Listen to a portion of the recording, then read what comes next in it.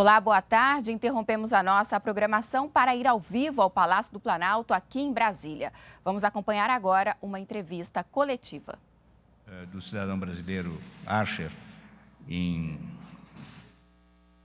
na Indonésia, nós tomamos uma série de medidas, além daquelas que normalmente vinham sendo de forma cotidiana tomadas pela embaixada brasileira, para elevar eh, às mais altas autoridades uma tentativa de resolução eh, desse gravíssimo eh, fato.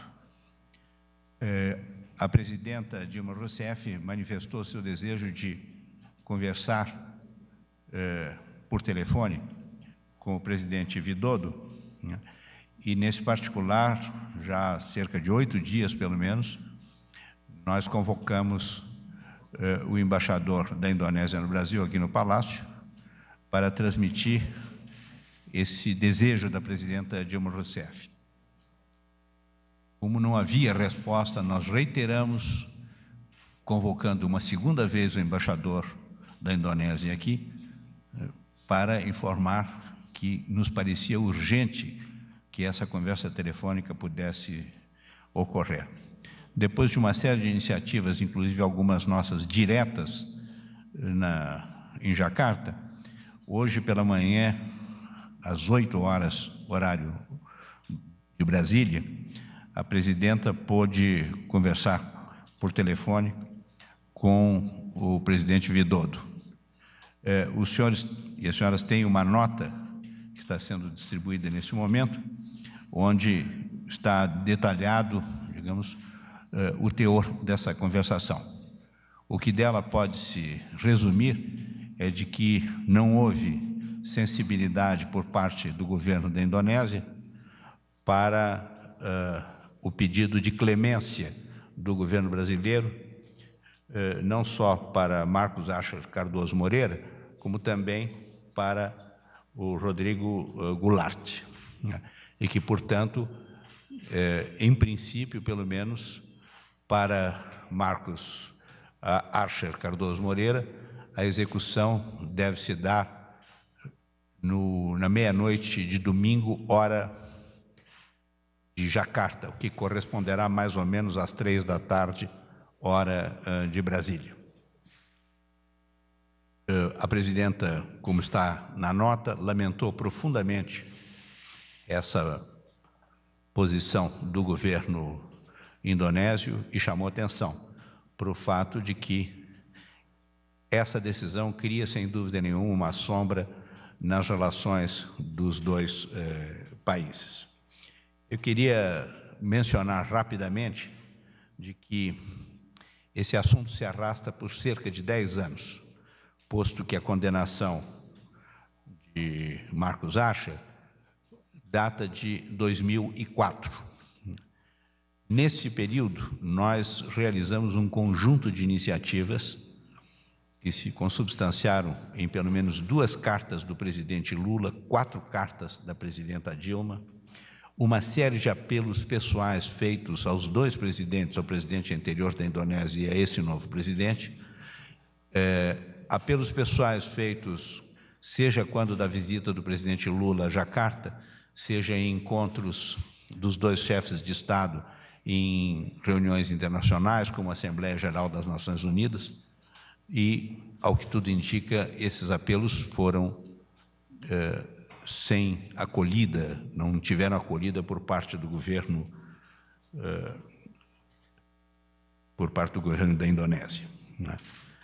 É, ao mesmo tempo, o, a embaixada brasileira realizou um extraordinário trabalho lá, o embaixador Paulo Alberto Soares, é, deu toda a cobertura jurídica, médica e psicológica aos presos é, e também realizou contatos com embaixadas de outros países que têm seus concidadãos condenados também à morte, né?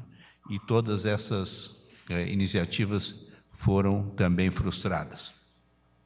Eu, pessoalmente, também, seguindo instruções da Presidenta da República, eh, mantive contatos com a Anunciatura Apostólica né, e fiz chegar à representação da Santa Sé no Brasil um pequeno dossiê com os dados sobre essa execução e me foi assegurado que eh, seriam enviadas à Secretaria de Estado do Vaticano para que eh, Sua Santidade pudesse interceder em favor de uma atitude de clemência por parte do governo indonésio que, sinceramente, quero lhes dizer, me parece absolutamente improvável.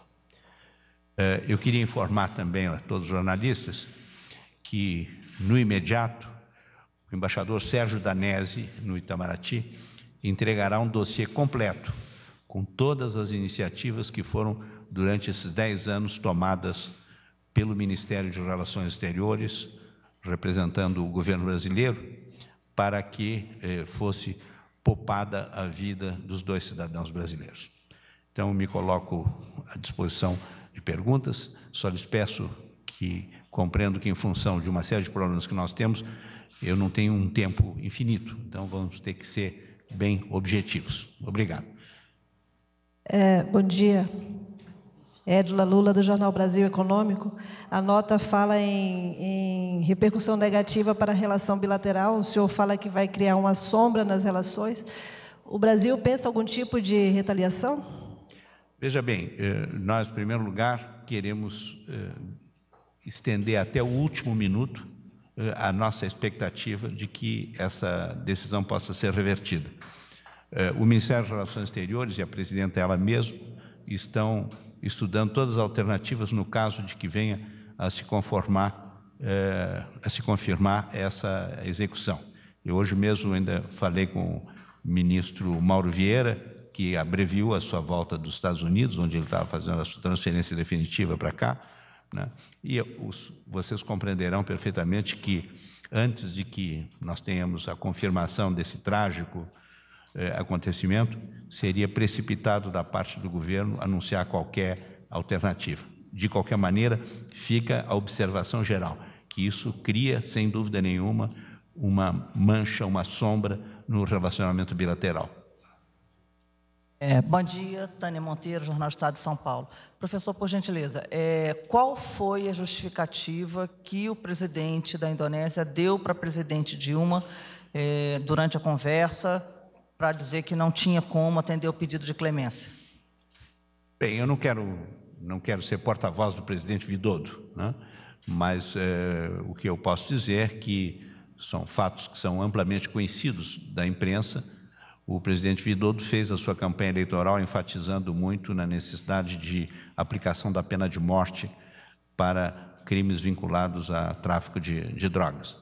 Ele procurou uh, dizer na, na, na conversa de hoje que ele não tinha alternativa, que eles tinham sido submetidos a processos legais, que tinham sido obedecidos todos os, os ritos jurídicos. Né?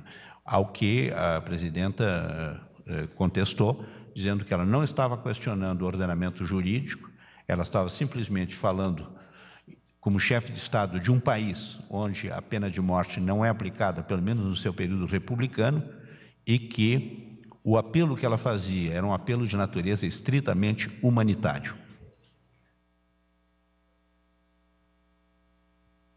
Em algum momento a presidente chegou a falar com ele sobre a possibilidade dele vir cumprir a pena no Brasil ou de ser transformada especificamente em pena de, de prisão perpétua? Houve um, uma não, explicitação ela, disso? Não, a, a, a única figura a qual ela se ateve é a figura que está prevista na legislação indonésia. Não, nós não podemos fazer invenções jurídicas nesse momento. A figura que existe na legislação indonésia é a figura da clemência. E essa figura foi rejeitada pelo presidente. Agradeço a todos e vamos esperar que um milagre possa reverter essa situação. Muito obrigado.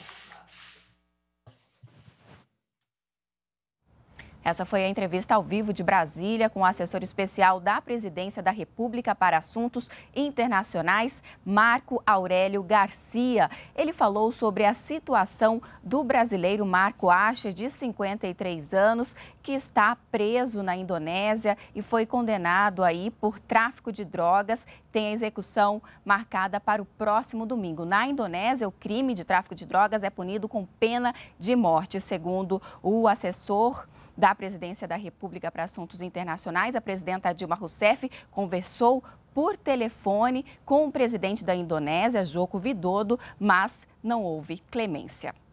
E nós podemos voltar a qualquer momento com outras informações. Continue com a gente aqui na NBR, a TV do Governo Federal.